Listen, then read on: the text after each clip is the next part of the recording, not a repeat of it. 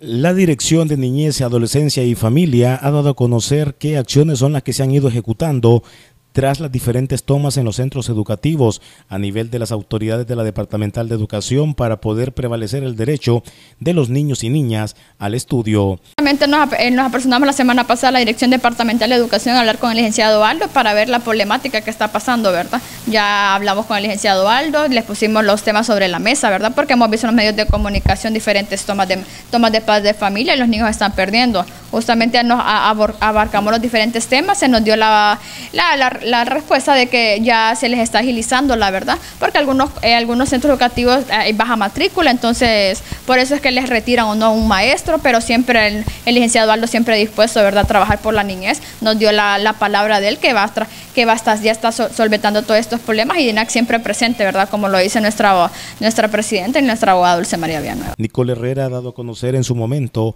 cuáles han sido esas eventualidades, pero sobre todo cómo buscan a través del gobierno de la República y de esta dependencia como lo es la DINAF, garantizar el estudio a los niños y niñas del departamento de Choluteca.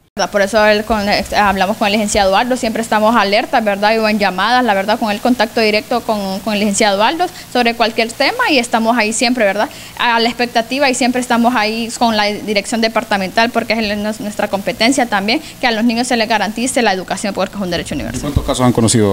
Hasta el momento tenemos tres casos, ¿verdad? En lo que va de Choluteca y a sus alrededores pero ya cualquier cosa estamos a la espera, a la expectativa, no y confiando, ¿verdad?, que la dirección departamental solvente los problemas para que los niños tengan su, su, educación diaria. Es oportuno mencionar que la DINAF ha ido garantizando estos procesos, pero sobre todo en acompañamiento con las autoridades de la Dirección Departamental de Educación en Choluteca.